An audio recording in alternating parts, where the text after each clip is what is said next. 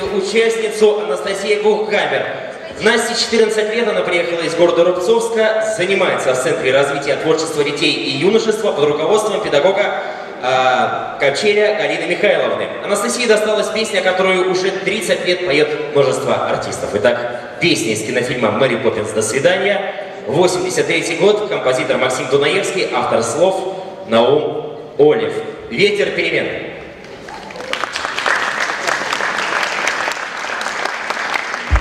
Thank you.